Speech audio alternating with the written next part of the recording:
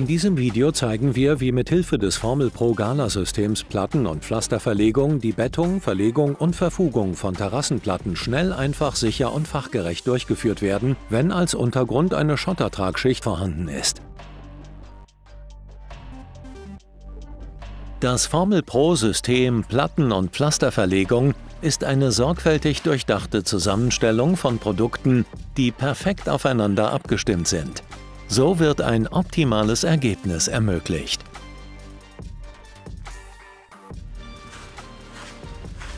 Zunächst wird das Formel Pro Gala Universalfugenband lose an die Fassade angehalten. Um es vorläufig zu fixieren, wird zunächst einfach etwas von dem Schotter vor dem Band aufgeschichtet. Später wird es von dem Gewicht des Mörtels und der Terrassenplatten gehalten. Formel Pro Gala Universalfugenband kann einfach mit einem Sicherheitsmesser zugeschnitten werden. Jetzt kann der Formel Pro Gala Drainagemörtel angemischt werden. Hierzu verwendet man beispielsweise einen Zwangsmischer oder einen Handrührer. Auf ein 25 Kilo Gebinde des Mörtels kommen je 2 Liter Wasser. Diese können mit einem Messbecher dosiert werden. Noch einfacher ist es mit einem elektronischen Wasserdosiergerät. Sie sollten immer zuerst das Wasser in den Behälter einfüllen und anschließend das Material, damit sich der Mörtel besser vermischt und nicht am Rand festklebt.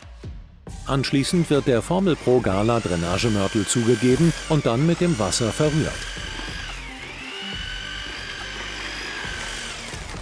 Dabei sollte eine formbare plastische Masse entstehen, die aber dennoch locker ist.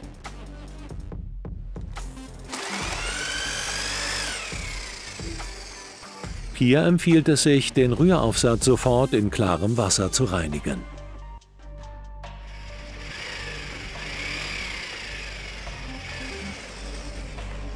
Dann kann damit begonnen werden, den fertig angemischten Drainagemörtel auf der Schottertragschicht aufzuschichten. Dieser sollte je nach Tragschicht eine Schichtstärke von mindestens 6 bis 10 nun wird mit einer Abziehlatte eine ebenmäßige waagerechte Fläche hergestellt. Sobald Sie auf diese Weise genügend Fläche für das Verlegen der ersten Reihe Terrassenplatten geschaffen haben, wird die Formel Pro Gala Haftbrücke benötigt. Für ein 25 Kilo Gebinde Formel Pro Gala Haftbrücke werden 6,7 Liter Wasser benötigt, die mit einem langsam laufenden Handrührer vermischt werden. Zum Schutz des Untergrunds sollte dabei eine Folie untergelegt werden.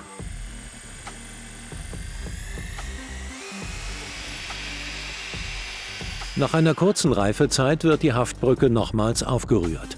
Diese kann nach dem Anmischen ca. 60 Minuten lang verarbeitet werden. Deshalb sollten Sie die Haftbrücke gleichzeitig mit dem Bettungsmörtel und je nach Bedarf portionsweise anrühren.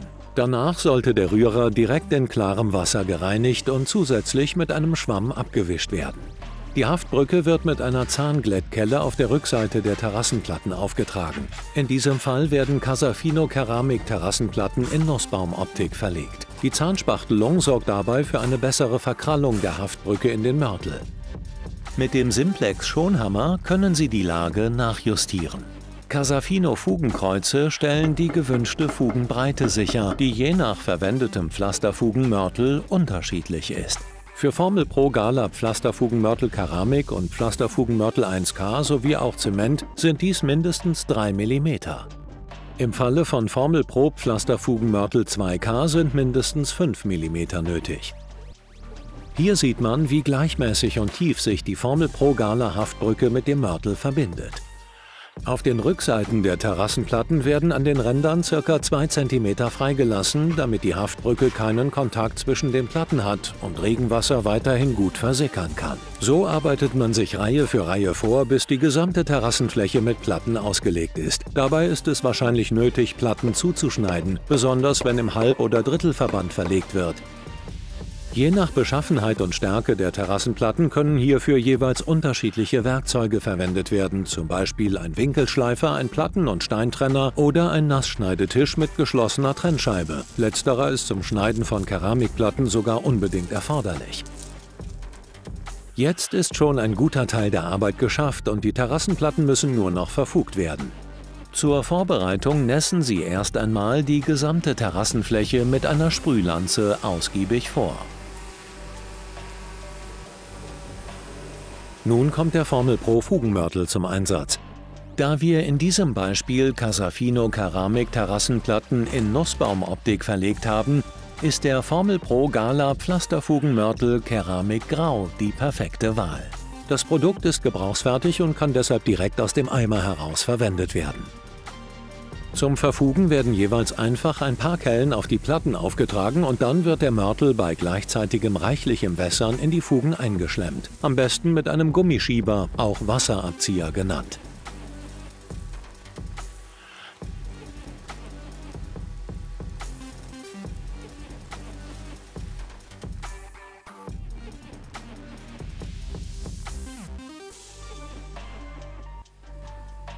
An einigen Stellen kann der Fugenmörtel beim Einarbeiten nachsacken.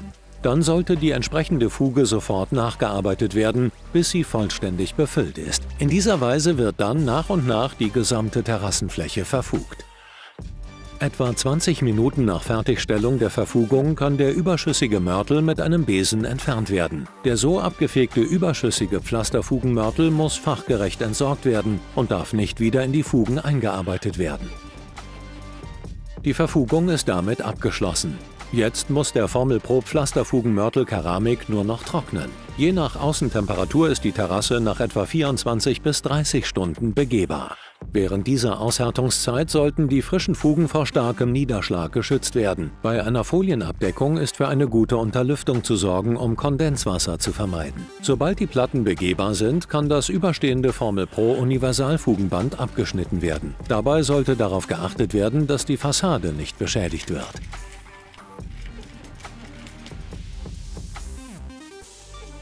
Nach circa einer Woche ist der Fugenmörtel vollständig durchgehärtet und voll belastbar. Bis dahin sollte die Terrassenfläche unbedingt vor Frosteinwirkung geschützt werden. Die Terrassenfläche sollte regelmäßig gereinigt werden, damit die Wasserdurchlässigkeit erhalten bleibt.